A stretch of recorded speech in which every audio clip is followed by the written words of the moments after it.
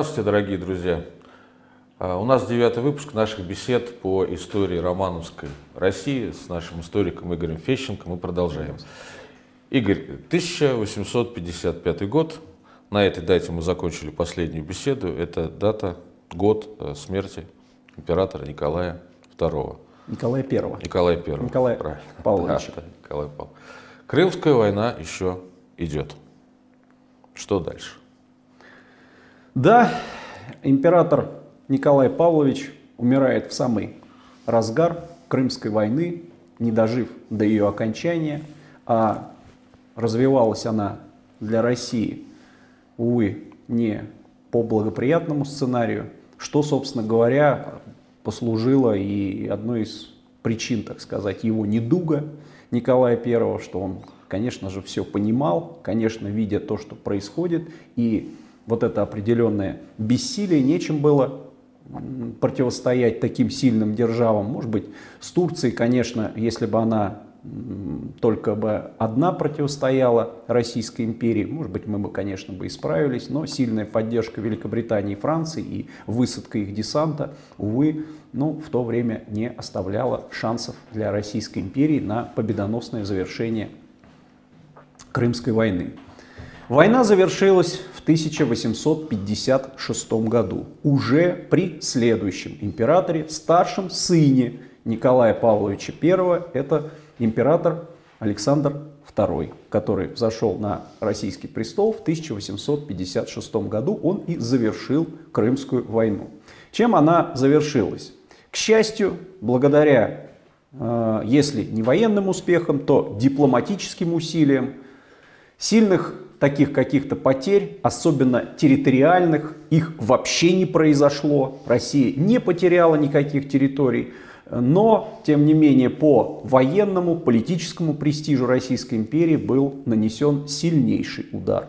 Но и также в результате подписания мирного договора мы лишились права иметь торговый и, конечно, военный флот в Черном море, что сильно урезало вообще э, экономический, прежде всего, э, потенциал, но потом, конечно же, и военный потенциал Российской империи в Южном регионе. Вот так завершились э, события Крымской войны, продолжавшиеся три года с 1853 по 1856 годы.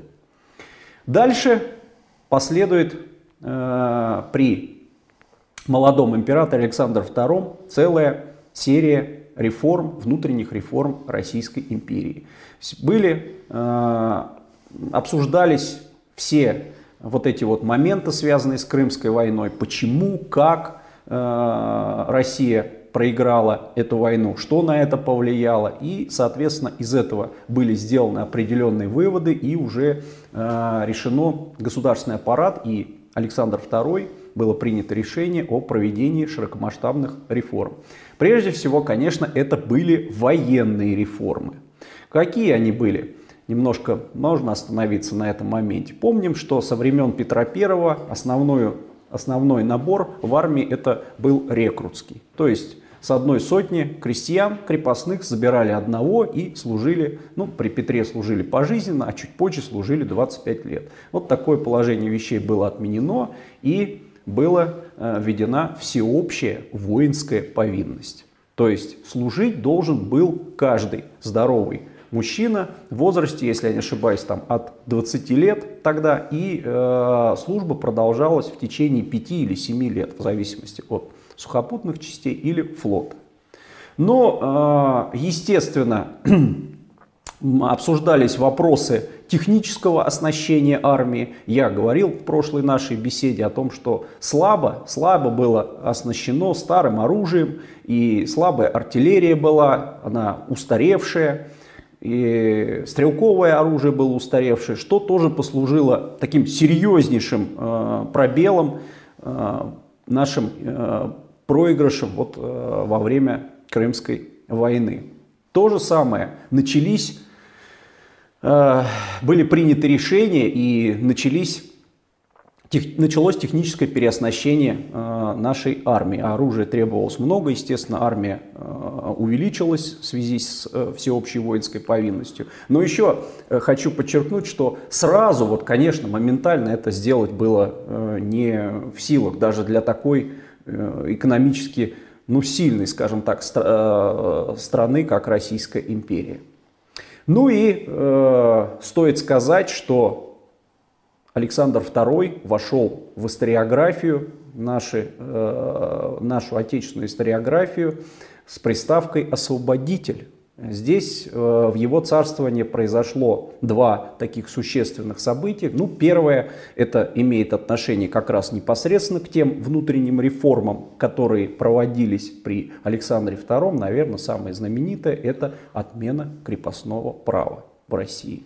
Напомню, что крепостное право существовало с середины 17 столетия, было утверждено на соборном уложении 1649 года, закреплено и несколько веков продолжало существовать как в качестве такого одного из основных законов. Сначала Московского царства, а потом перешло и в Российскую империю.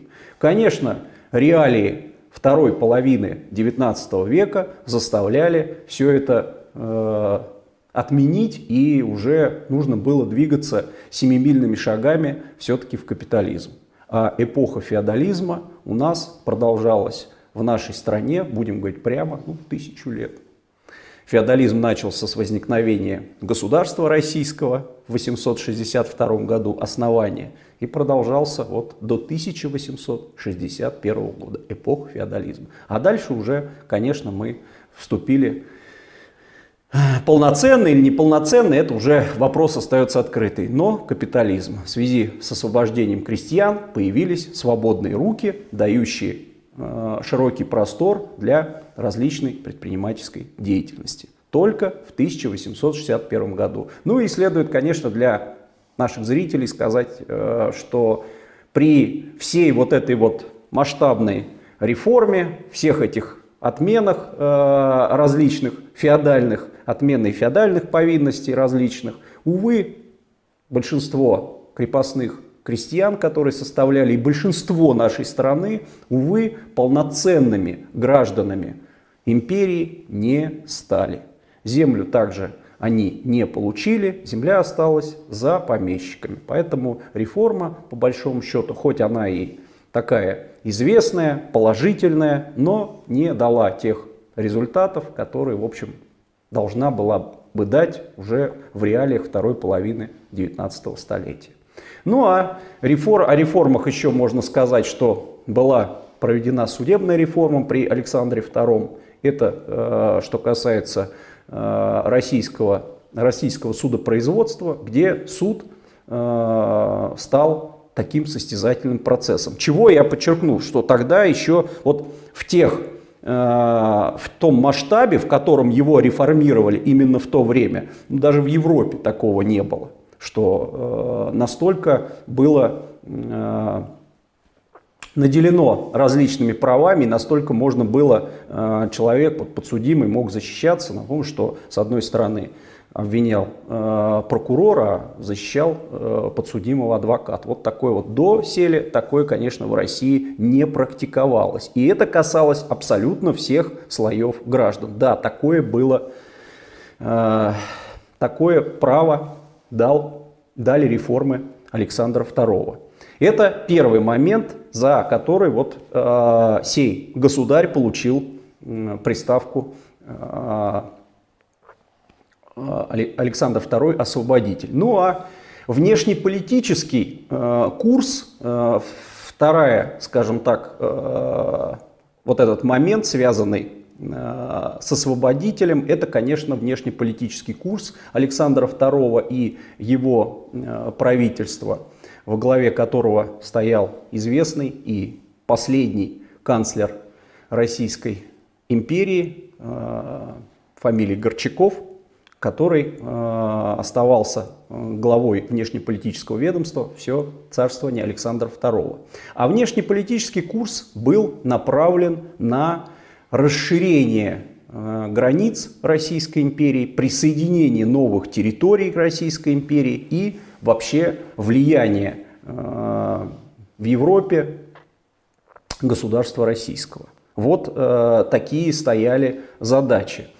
И, э, конечно, здесь следует отметить э, следующий момент. Я уже говорил, что еще при Николае Первом было принято такие решения о том, что Россия всегда покровительствовала э, православным народам, нашим братьям-славянам, в частности, которые проживали на Балканах. Сербы, э, хорваты, черногорцы, болга, болгары, э, они находились тогда под властью Османской империи, и, в общем, э, там довольно Османская империя довольно жестоко обращалась с этими народами, и, безусловно, во второй половине 19 столетия, ну, такое положение вещей было неприемлемым. Э, что касается вообще Османской империи, то в отношении вообще политическом и военном это было не сильное государство, а не обладавшее какой-то сильной военной мощью, которая когда-то на заре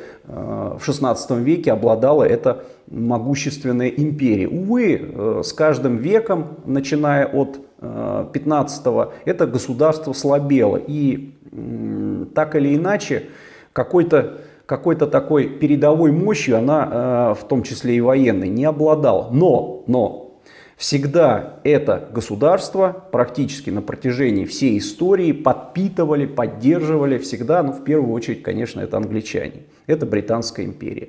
Не потому, что она э, симпатизировала там э, различным каким-то э, курсом этого государства, а потому что это государство всегда было врагом России. Вот поэтому, собственно говоря, из этого складывался и э, внешнеполитический курс Великобритании. Так происходило и э, в 19 столетии. Помогали прежде всего э, оружием, передовым, надо сказать, оружием. Поэтому вот того, чтобы с политической сцены сошло это государство, которое там еле-еле держалось на ногах, вот Великобритания, ну и Франция, скажем так, тоже были не заинтересованы, потому что это такой основной и серьезный враг России. И э, события развивались следующим образом. 1877 год После подавления, и скажем так, очень жестокого подавления восстания на Балканах, в частности Сербия, а различные восстания против действий османов – на Балканах они были практически бесконечно возникали, то есть эти народы, безусловно, не сидели просто так, сложа руки, возникали очаги восстания, э, вооруж... Э, вооруженную борьбу там вели, но сил, конечно, у сербов э, и других народов, населяющих Балканский полуостров, вот так вот противостоять в открытую Османской империи, хоть и ослабевшей, увы, не было. И после вот этого жестокого подавления, вот, общественные круги э, в России очень взволнованные, скажем так, вот этими всеми событиями, те подробности, которые приходили с Балкан в Россию, то, что слышали, какие жестокости турки творили э, в этом регионе, вызвали такой общественный резонанс, что, в общем и целом, инициатором, инициатором э, разрыва дипломатических отношений и вступления в войну с Османской империей выступило не правительство во главе с государем-императором, а общественность потребовала, и к этому подключилась еще русская православная церковь, которая в общем и целом вот, э, настаивала на позиции какого-то силового вмешательства для того, что вот, ну, говорили, ну, дальше такое положение вещей оставаться не может. И в 1800 1977 году Россия объявляет Турции войну и уже э, вот под таким э, девизом, мотивом, что это освободить народы Балкан от турецкого ига. Вот такая вот война. Ну, что касается немножко таких сил, участников э, боевых действий, значит, э, турецкая армия составляла примерно 200 тысяч солдат, довольно значительные силы, которые, которым противостояла 150-тысячная российская армия. Российская армия выдвинулась тогда из молдавского Кишинева уже на Балканы и э, там вступила вот, э, непосредственно в эти боевые действия. Э, хочу сказать, что несмотря даже вот на все реформы, конечно, несмотря на все реформы, в частности и военную, конечно, переоснащение нашей армии, вот как бы нам ни хотелось, но турецкая армия была лучше оснащена. А, обладала на тот момент самым передовым оружием. Да, может быть, конечно, там боевой дух, стратегия и тактика устарели, но оружие благодаря англичанам было самое передовое на тот момент. Поэтому, соответственно, конечно, ну, э, такая многочисленная армия все-таки составляла серьезную военную силу. Мы были в, э, в отношении оснащения послабее, но моральный дух э, русских солдат, их мужество, э, и вообще желание помочь своим братьям-славянам православным ну, тоже делали свое дело. Э, надо сказать, отметить еще в техническом отношении, немножко лучше было э, в нашей армии, если не с передовым стрелковым оружием непосредственно, но с артиллерией все-таки мы, э, она была вполне современной по тому времени. Уже убрали из нашей армии все-таки те пушки, которые все-таки заряжались с дула и стреляли ядрами стреляли все-таки с казенной части, и это было, конечно, э, большим-большим, конечно, плюсом. Но надо сказать, как я и говорил, вот э, в одночасье вот э, просто у Российской империи не хватало средств на такие вот широкомасштабные переоснащения все-таки. Тем не менее, тем не менее, в результате жестоких боев война продолжалась с 1877 по 1978 годы, чуть-чуть больше года, и, собственно говоря, все-таки турецкая армия была на голову разбита. Были взяты э, различные города-крепости и на территории, э, на территории Болгарии, на территории Сербии. Эти э, народы встречали русскую армию как своих освободи братьев и как своих освободителей. То есть радость такая была э, всеобщая. Естественно, оказывали сопротивление только турецкие части. Ну и э, совсем немного нам оставалось до того момента, когда, в принципе, мы э, могли, русская армия, взять Константинополь, столицу тогда Османской империи. То есть мы подошли уже вплотную практически к этому городу и готовы были его штурмовать как когда-то турки штурмовали столицу Византии в 1453 году. Но здесь происходит опять момент вмешательства иностранных государств. Конечно, Великобритания и Франция не хотели столь сильного усиления России, да еще и э, со взятием Константинополя, скорее всего, с политической карты Турции и Османской, или Османской империи просто исчезли бы. И, э, но здесь уже в ход пошли дипломатические переговоры. Войну, э, в войне, новой войне с э, Великобританией и Францией Россия была совершенно не заинтересована. И в 1878 году мы заключаем мирный договор, Сан-Стефанский мирный договор, по которому Румыния, Сербия, Черногория и фактически вся Болгария, они получают независимость. Все-таки, все-таки такая основная цель войны, в которой мы положили около 20 тысяч жизней наших солдат, она была достигнута. И э, эти народы все-таки стали независимыми, получили, и Болгария вообще получила свою государственность как таковую, ну можно сказать, вот э, из рук русского царя, из рук нашего государства, она обрела свою государственность в то время. А Черное море? А Черное море, э, безусловно, мы э, получили вновь право иметь и торговый, и военный флот. Конечно Это же. Это самое главное. Это, да, тоже одно из самых э, главных таких. Но, скажем так, были и определенные минусы надо сказать, э, знаете, наверное, Александр об этом не пишут в учебниках истории, но э, сказать об этом стоит. Вот эти государства, вновь появившиеся на политической карте, они, э, среди них не было какого-то такого единства и договоренности, несмотря что это славяне, несмотря на то, что православные, я имею в виду Сербия, Черногория, Болгария. Вот после, вроде бы мы сделали хорошее дело, вроде бы э, стали они независимы, но тем не менее определенные линии границ после этого договора провести пришлось, какие-то разграничительные линии. И эти государства остались недовольными проведением подобных границ. Вот у них, безусловно, и э, такое положение вещей даже, вот можно сказать, ну, затмило разум, какое-то общественное сознание в этих государствах, э, людей, общественности, что они наконец-то стали свободными, но не понравилось, как провели вот эти вот границы. Увы, конечно, это стало огромным минусом. В частности, э, о том, что Сербия и Черногория было э, недовольна, что Боснию и Герцеговину в то время присоединили к Австро-Венгрии.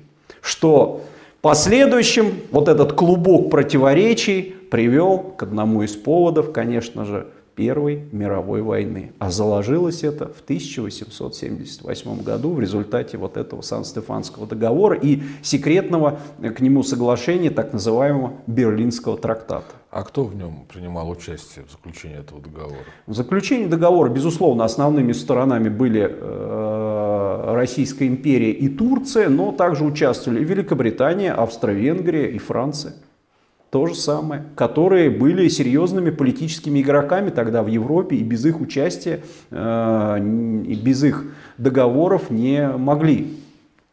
Э, быть подписание столь важных документов. Они тоже имели свои интересы. Но они не принимали участие в боевых действиях? Нет, конечно, Александр. Нет, нет, нет, они не принимали. Но оказывали так или иначе э, вот э, такое вот политическое давление. И Александр II вынужден был все-таки согласиться на это. Ну, в общем, спустя 20 лет мы восстановили статус-кво да, некое такое. Да, после Крымской войны престиж Российской империи тогда просто взлетел до небес. И политический, и военный мы показали, что мы все-таки сильное государство. То есть поняли, что надо заниматься военно-промышленным комплексом, армией. Конечно, Александр. Да, да, что отсталость все-таки надо преодолевать, реформировать и идти в ногу со временем. Это, это было выяснено. Следующие такие менее значимые э, моменты во внешнеполитическом курсе э, Российской империи, это в царствование Александра II, следует отметить, это завершение э, очень долгой Кавказской войны, которая продолжалась с 1817 по 1864 годы. В результате этой войны Кавказ э, был, в общем, покорен и присоединен. Все вот эти вот горцы, горские племена, населяющие а, Кавказ, они а, были, так сказать, приведены к миру, к мирному состоянию, к мирной жизни, перестали открыто враждовать, от, открыто досаждать государству российскому и народу русскому, населяющему эти территории, и полностью вошли в состав Российской империи. Напомню, что э, в 1864 году э, был пленен лидер, многолетний лидер кавказских горцев, это имам Шамиль. Взяли его в плен в высокогорном ауле Гунип, и уже он был привезен в Центральную Россию. Здесь э, привели его к присяге Александру II непосредственно. А Александр II, в общем, достаточно благожелательно э, к нему отнесся, э, к его семейству, скажем так. И э, ну, каким-то узником таким вот полноценным этот человек не был. Все-таки больше уже такая идеология, идеологическая линия о том, что все-таки Россия придя на новые территории, несет мир, несет помощь этим народам в устройстве мирной жизни. Вот э, такая, такая политика, такая идеология насаждалась на вновь вот этих вот присоединенных территориях.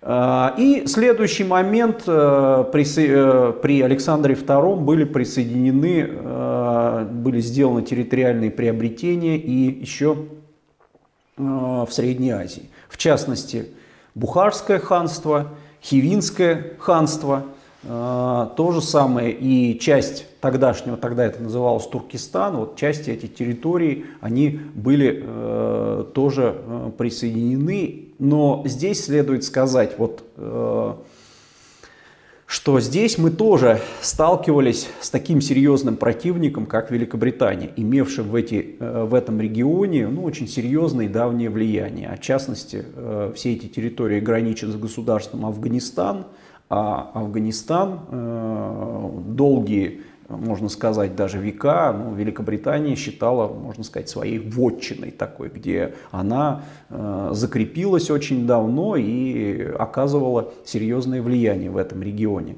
Поэтому, собственно говоря, ну, говорить, что Великобритания ну, далеко не друг России и в те времена была, поэтому вот столкновение интересов, а особенно вот в этом среднеазиатском регионе, оно было достаточно существенно. Но несмотря на это, все равно вот такие территориальные приобретения были сделаны.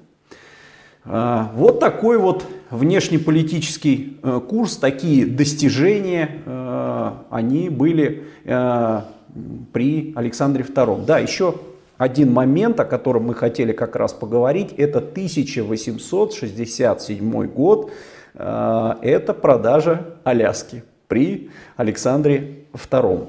Э, скажу, что история этого вопроса, такого конкретного вопроса продажи Соединенным Штатам Америки, этого региона Аляски, она начала, э, началась еще в эпоху Николая I, а именно в 1853 году губернатор Сибири Муравьев-Амурский, вот он предложил э, продать Соединенным Штатам, первый высказал такое предложение, продать Соединенным Штатам этот регион, но в связи с его такой экономической бесполезностью, как это было обосновано, потому что далекий регион, флот держать там из-за того, что низкие температуры и происходит там, э, естественно, э, замерзание глубокое, держать невозможно, как-то развивать этот регион удаленный тоже не получалось. Ну, тогда в связи с событиями Крымской войны этот вопрос был оставлен, а в 1867 году он вновь поднят, этот вопрос. И все-таки Сложно сказать отношение Александра II, вот непосредственно его мнение, но есть такое мнение о том, что на него сильное э, давление оказали великие князья, его братья, на то, что ну, вот они считали, что вот действительно это надо продать, а вырученные деньги вложить в экономику империи. И э, в 1867 году Аляска была продана Соединенным Штатам, в Вашингтоне был подписан соответствующий договор, Аляска была продана за 7,2 миллиона долларов. Что, чтобы пояснить нашим зрителям, что это за деньги, интересный, конечно, вопрос. Ну, это большие деньги, конечно, если так вот глобально сказать, это деньги очень-очень большие. Но, но для сравнения, значит, за более крупные суммы, за гораздо большие, в то время продавались здания в центре Нью-Йорка. То есть, но э, нынешнее мнение там, нынешних историков, экономистов все-таки сводится к тому, что, говоря простым языком, ну, продешевили здорово все-таки. Можно было, конечно, намного увеличить эту сумму, но тогда она, видимо, показалась э, достаточно значимой. Куда пошли эти деньги, мы получили, вопреки всей там э, мифологии различной, о том, что мы этих денег не дождались, что какое-то э, золото там нам везли на кораблях, и они где-то там потонули. Это все миф, не имеющий под собой никакого э, серьезного обоснования. Деньги были получены и были потрачены на строительство железных дорог в России. Вот э, куда э, на развитие сети железных дорог, что было в то время жизненно необходимым для развития, экономического развития страны, в частности, вот, грузоперевозок, в военном отношении всего этого. Да, деньги эти значительные было вливание. Так просто, конечно, Российской империи взять их было э, неоткуда, скажем так. А вот можно немножко назад вернуться все-таки к Константинополю? Вы сказали, что мы чуть его не взяли. А как это было? Мы Мы зашли на территорию Турции, мы пересек, да. пересекли море. Конечно. А, стояли на проливах Боспор и Дарданеллы. Стояли, да, и наши войска, и готовые были. Мы как никогда вот именно в эту войну были близки к идее того, что, ну, сложно сказать, там, возрождение Византии в каких рамках, но присоединение Константинополя и контроля над проливами, которыми, ну, такая вот идея это витала в воздухе э, с незапамятных времен. Вот в эту войну мы были близки и были готовы. И я думаю, что если бы не вот это политическое и военное давление э, государств тогда Великобритании и Франции, мы бы осуществили это. Просто мы испугались продолжения войны уже с другими противниками.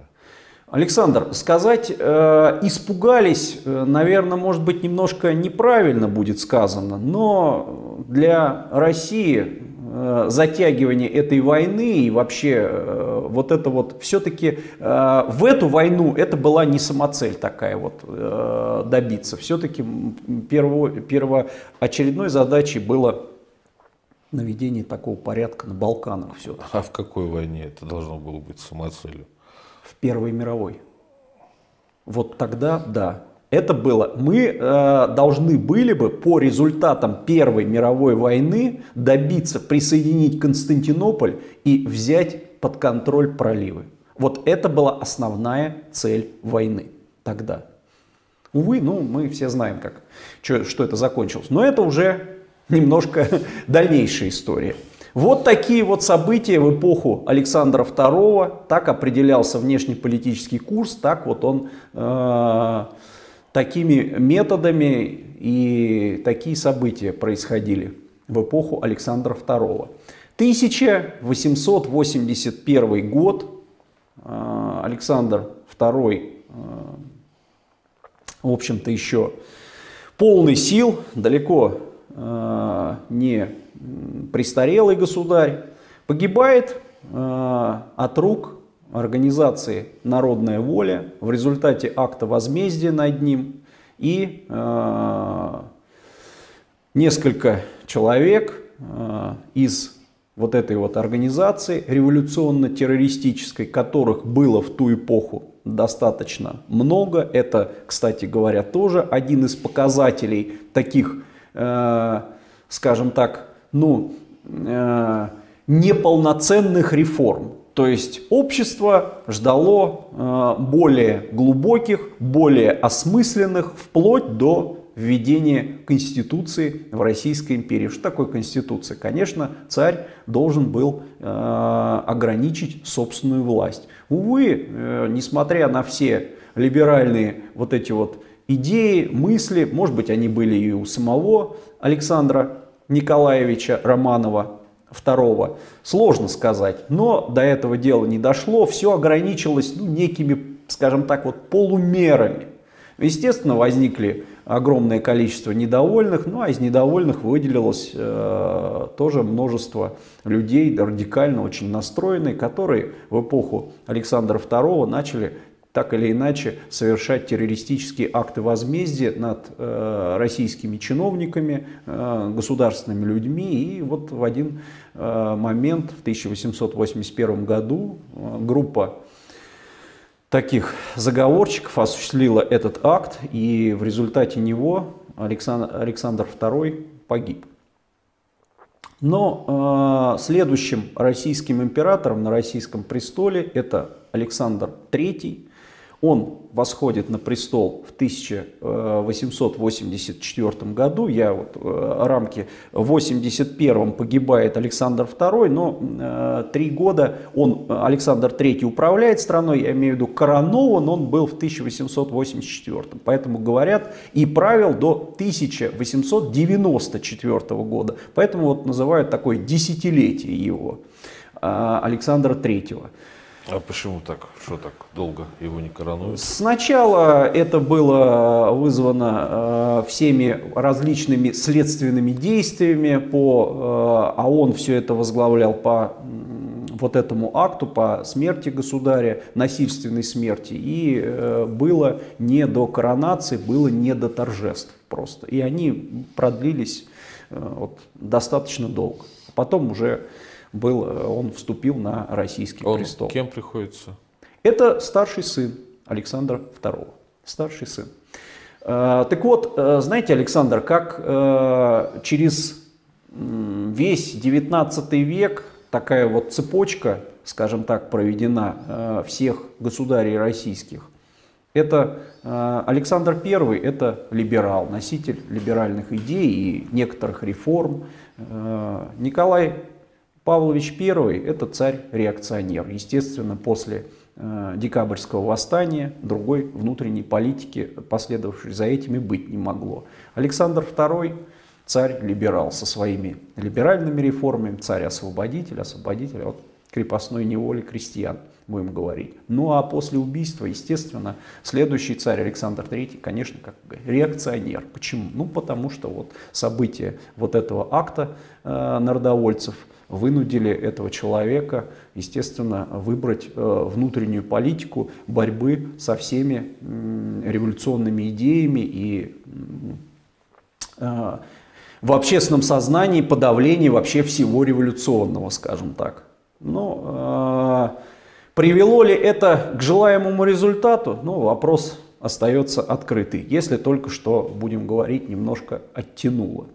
Но э, несколько слов, если сказать вообще о личности нового императора э, Александра III, знаете, несмотря на то, что если мы вот посмотрим на его прижизненные фотографии, которых много, достаточно такой Э, крепкий, он и был при жизни очень сильный человек, очень физически развитый человек, очень такой добродушный. Я вот нисколько не, не, не, преувеличиваю человек, который был не склонен э, каким-то выяснениям отношений, каким-то грубым словам и очень-очень такой мягкий по характеру, несмотря на свой внешний внушительный вид. Вот этот вот, это я хочу подчеркнуть. Очень открытый и честный человек. Вот как бы там ни было, как он, глава государства, император, вот русский царь, ну, э, соответствующий э, статус должен был бы ему наделять некоторыми другими э, какими-то качествами, но вот он был вот таким вот человеком. Считается как бы,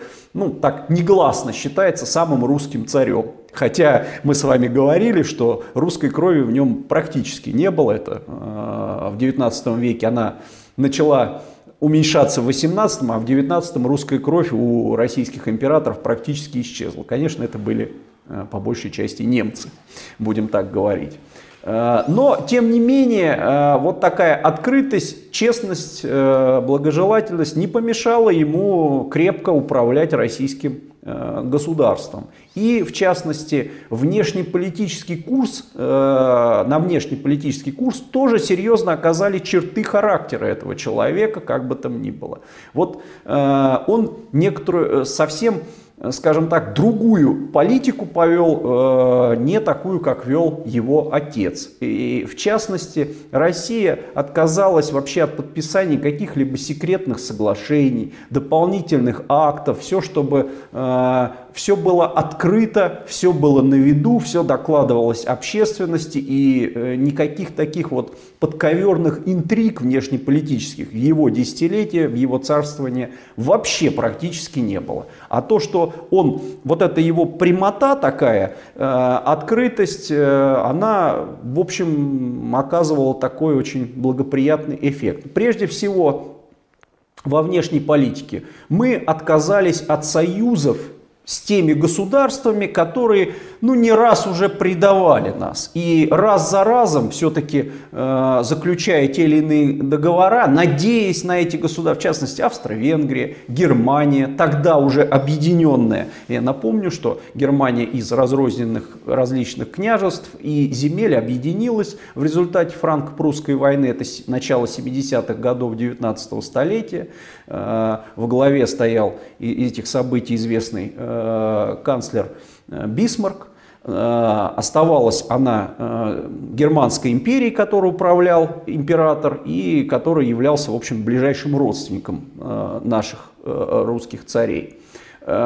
И Э, в результате э, вот этой вот политики, э, в результате внешнеполитического курса вот этого Александра Третьего начали уже складываться те союзы, которые будут впоследствии друг другу противостоять уже в Первой мировой войне. Раз не получал с союзом с Германией раз за разом, с Австро-Венгрией, то есть это были ненадежные союзники, и Александр III это прекрасно понимал. Сколько раз они уже нарушали все эти договора, сколько можно с ними было договариваться. Мы пошли на союз с Францией. Вот произошло такое серьезное сближение в царствовании Александра III. Какие здесь были у нас противоречия? Ну, э, внешнеполитический курс э, некоторым э, образом он совпадал все-таки интересы Франции и интересы э, России.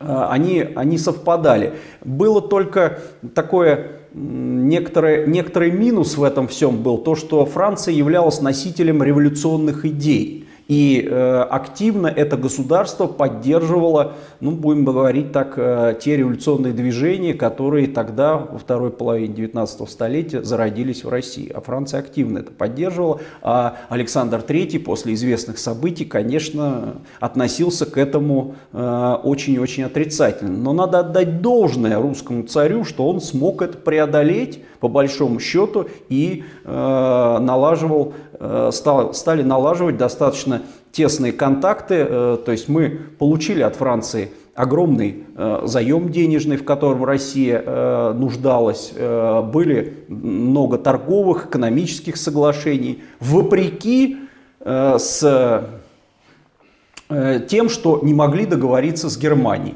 Несмотря, вот я хочу подчеркнуть на то, что Александр III и Вильгельм I, там, э, император германский, были родственниками, но общего языка не могли. Это даже вылилось в некую таможенную войну, э, тогда в царствовании Александра III, когда мы там э, все э, торговые соглашения и торговые отношения прекратились с Объединенной Германией. Вот э, даже на таком уровне. Естественно, на фоне вот этих событий мы быстро сблизились э, с Францией, которая была противником Германии. Напомню, фран франко-прусская война в начале 70-х годов в 19 веке Франция проиграла, и значительные области промышленные районы, добывающие районы были отторгнуты Германией от Франции. Соответственно, ну а не раз э, хотела Франция в эти годы взять реванш, ну такой войны не было. И даже подчеркну такой момент, насколько миролюбивым и миролюбивым был человеком Александр Третий, за что и получил приставку «миротворец», это тоже э, такой серьезный факт. Вот, э, могу подчеркнуть, что э, новая война затевалась во время нашего сближения вот как раз э, дипломатического с Францией. Франция, э, Франции вот-вот должен был объявить войну э, германский император. И Александр III приложил все усилия, напрямую поговорил с ним и, э, в общем, этой войне не суждено было быть. Все-таки вот, ну, э, вот эта вот острота отношений дипломатическим путем они были разрешены, а не военным конфликтом. Это тоже надо отдать должное, а мы продолжили вот это вот сотрудничество с Францией.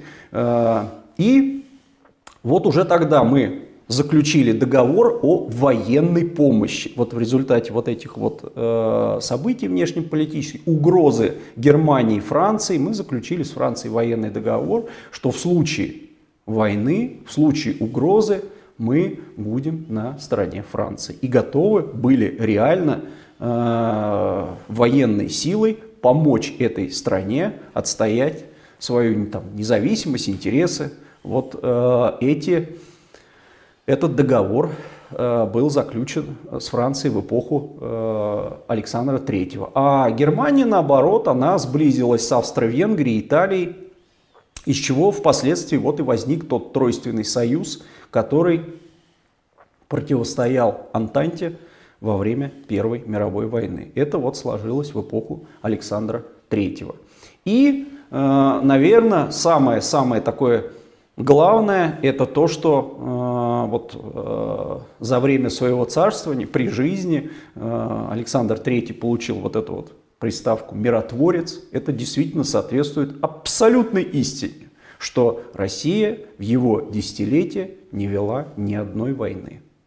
Она получила мирную передышку.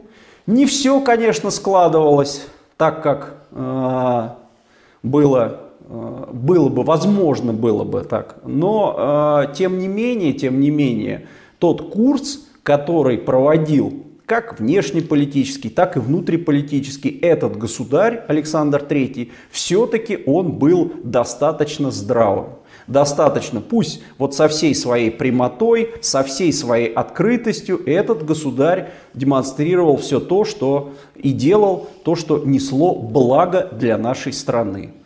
Может быть, не все у него получилось. Но э, так или иначе, вот, э, история распорядилась, что государь этот э, умирает совсем, в принципе, молодым еще человеком, умирает в 49 лет.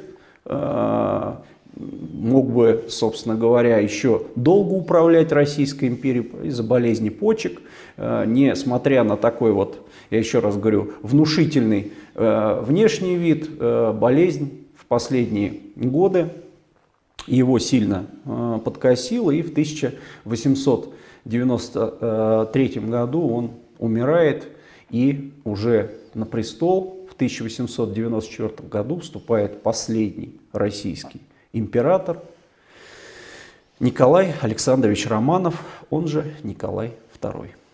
Вот такая вот вторая половина 19 столетия с таким внешнеполитическим курсом, с такими событиями. Вот так складывалось в Российской империи положение дел. Спасибо, Игорь. Хорошо, давайте тогда на этом закончим. Оставайтесь с нами. В следующий раз мы с вами поговорим уже об окончании Романовской России.